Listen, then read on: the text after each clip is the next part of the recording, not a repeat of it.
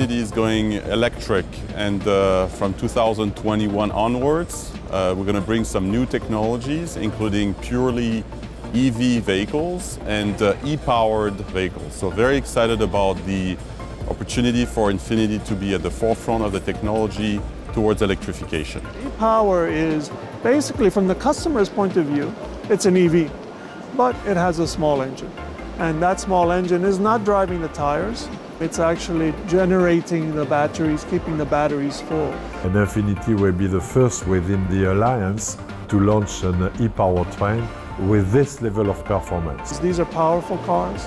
These are beautiful cars. We will be the benchmark of the industry as far as a portfolio goes. New technologies are always very important for design. And in the case of e-power or EV, it's a fantastic opportunity for us. You will see that we start changing the proportions.